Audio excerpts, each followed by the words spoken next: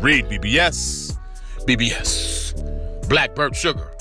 Bachelor's in Boxing Studies. Televisión. Fred Sanford of the Fistic Arts.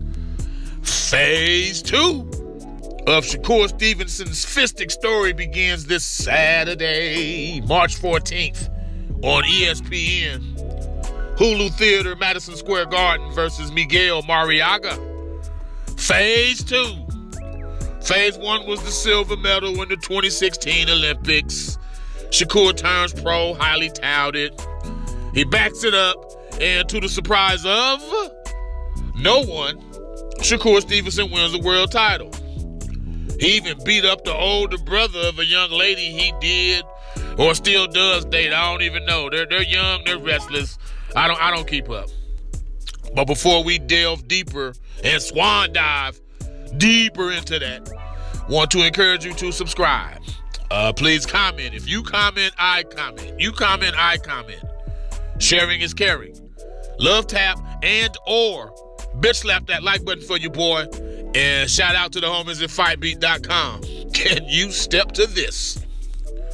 Shakur Stevenson, 13 and 0, 7 KOs versus Miguel Marriaga, 29 and 3, 25 KOs. I mean, right there on paper, you see what it is. You see what it is. Marriaga's fourth world title shot and Shakur's first title defense of the WBO featherweight title he recently won against Joet Gonzalez. For the vast majority of fighters, winning a world title, that's like the peak. That's like the peak of your professional life probably the proudest, most fulfilling moment of fucking human existence, like real talk. And granted, uh, Shakur, he deserves, he deserves time to smell his roses and appreciate them as he's earning them while he's still here.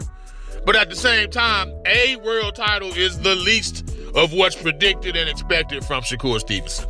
It just is what it is. Just is what it is. But it's a process.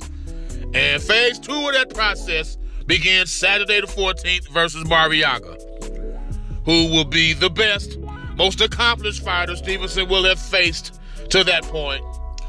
Uh, losses to Lomachenko, Oscar Valdez, Nicholas Walters.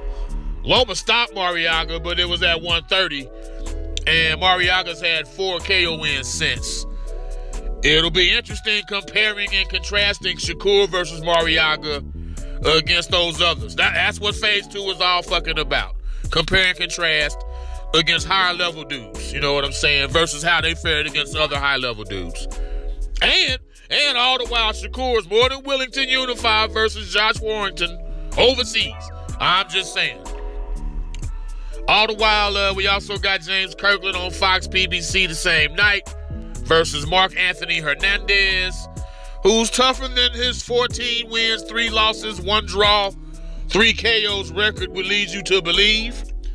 Kirkland, he's 34 and 2, 30 KOs. This will be his third bout since the loss to Canelo in 2015. And uh, we'll we'll speak more on that. And Shakur versus Marriaga later in the week. REED BBS. BBS. Black Bert Sugar. Bachelor's in Boxing Studies. Televisión. Fred Sanford of the Fistic Arts. When all is said and done, there's nothing left to say or do.